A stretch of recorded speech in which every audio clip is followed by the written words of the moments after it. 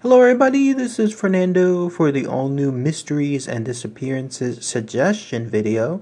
Well, it is that time when it comes to doing these videos. Once again, it's been around nine months or so since the last go around. So, as always, with your suggestions, please go ahead and post them below, and I'll go ahead and I'll take a look at these throughout the coming week. Even if you've had some in the past that I haven't touched yet, please go ahead and do so again, and then I'll be happy to uh, review them one more time and see if I can post them here. No particular theme this go around when it comes to time periods or when it comes to locations. It's pretty much just fully open to whatever you feel would be a good suggestion here. But thank you as always, everyone, for your continued support and your suggestions. And I look forward to working on these soon. Thank you, everyone. Take care. Bye.